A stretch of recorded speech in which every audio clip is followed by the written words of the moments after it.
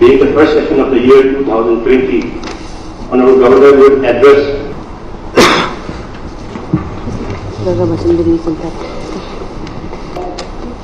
and honorable members of our legislative assembly.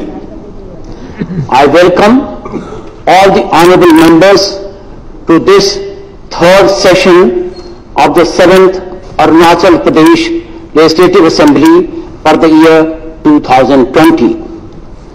I take this opportunity to convey my best wishes to all of you and to the people of Arunachal Pradesh for a very happy and prosperous.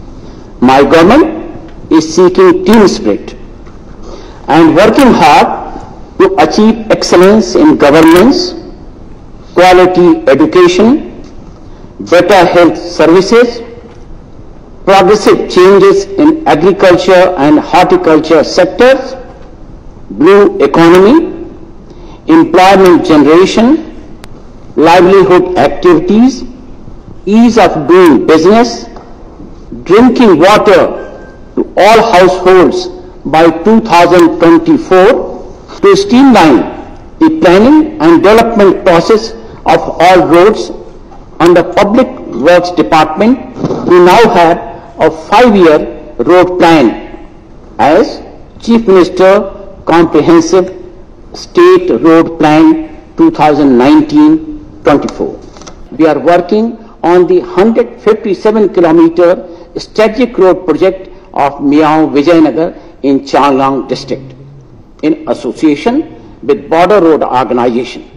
This road with several bridges will be the longest road in the country under the PMGSY.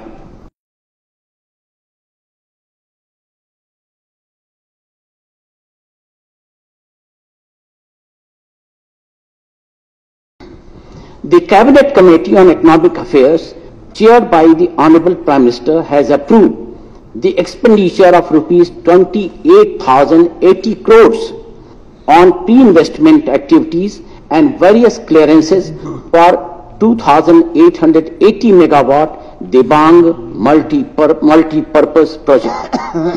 this project will be completed in nine years. Government is making all efforts for providing drinking water to all the households of the state by 2024.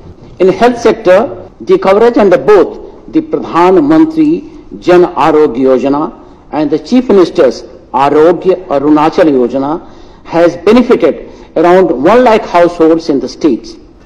Under Universal Immunization Program, my government is trying to raise the immunization coverage in the state from the present 78% to 90% by the end of this year to deliver a comprehensive primary health care in the state under Ayushman Bharat scheme. Another 91 health and welfare centers will be made operational by March this year.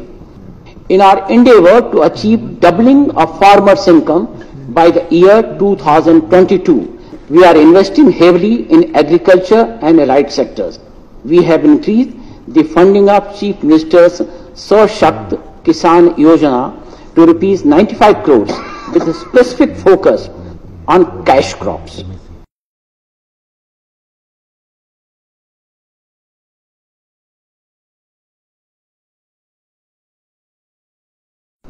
Providing quality education is the top priority of my government. Under Chief Minister's Adhunik Pathashala Yojana, we are upgrading one school into a model residential school in each district and plan to develop them as the center of excellence.